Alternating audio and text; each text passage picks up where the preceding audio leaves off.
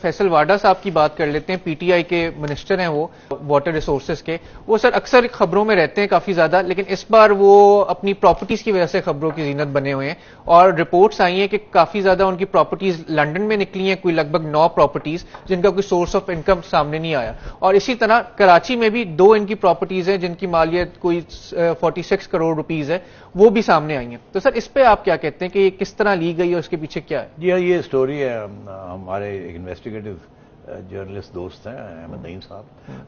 Sorry Ahmad نورانی صاحب. اور انہوں نے یہ سٹوری فائل کی ہے دو حصوں میں.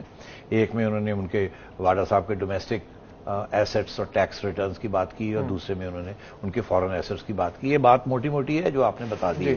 الزام واڈا صاحب کے اوپر لگ گیا ہے کہ کہ انہوں نے دو ہزار سولہ تک کوئی ٹیکس کبھی نہیں دیا۔ جی۔ ان کی کمپنی نے بھی کوئی سیلز ٹیکس نہیں دیا۔ انہوں نے کوئی انکم ٹیکس نہیں دیا۔ اور پھر ان کے پاس اتنی جائیداد کہاں سے آ گئی؟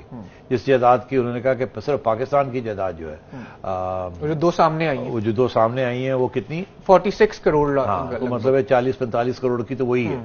اچھا اور جو وہ کہتے ہیں کہ دو ہزار سولہ سے پہلے ان کی لندن کے اندر بھی جائیداد تھی۔ اور جو کہ انہوں نے دو ہزار سولہ میں ڈکلیئر کی جبکہ ان میں سے کچھ پہلے بیچ بھی چکے تھے۔ لے کے خرید کے بیچ بھی چکے تھے۔ اور اٹھارہ کروڑ اس کی ویلیو دکھائی ہے۔ تو میں یہ سمجھتا ہوں اور وہ کہہ رہے ہیں کہ سولہ کے بعد انہوں نے اب اپنی ٹیکس ریٹرنز فائل کرنے شروع کی ہیں۔ جب سے انہوں نے فیصلہ کیا کہ اب پی ٹی آئی میں آ کے الیکشن لڑیں۔ تو اس سے پہلے کھاتا خالی ہے۔ تو ظاہر ہے یہ تو اب ایف بی آر اس کا جواب دے کہ ایف بی آر نے آج تک کیوں نہیں ایسے لوگوں کو ہاتھ لگایا؟ اور کیوں جو لوگ ٹیکس دیتے ہیں ان کے پیچھے بھاگتے رہتے ہیں اور جو ٹیکس نہیں دیتے جن کا ٹیکس ریکارڈ بھی ان کے سامنے ہے کہ ایک شخص ہے اتنی اس کی ہائی پروفائل ہے اور آج تک انہوں نے کوئی ٹیکس نہیں دیا۔ اور اگر دیا بھی ہے تو سولہ تک دیا۔ یہ according to the investigative report جو سامنے ہاں مجھے نہیں پتا کہ یہ انویسٹیگیٹو رپورٹ کل وائدہ صاحب کہہ سکتے ہیں کہ جی یہ غلطی ہے اس میں یہ غلطی ابھی کامنٹ حیرانگی کی بات یہ ہے کہ اس کو اب ہو گیا ہے سات آٹھ چار سات پانچ دن ہو گئے ہیں۔ جی۔ اور ابھی تک واڈا صاحب کی طرف سے کوئی کلیریفیکیشن کوئی ڈیفنس نہیں آیا۔ ساتھ ساتھ میں یہ بھی کہہ دوں کہ ایف بی آر کی طرف سے بھی ہمیں کوئی کلیریفیکیشن نہیں آئی ہے۔ اور ساتھ ساتھ یہ بھی کہ نیب کی طرف سے بھی کوئی نہیں کہ انویسٹیگیشن ہوگی نہیں ہوگی کیا ہوگا کیا نہیں ہوگا۔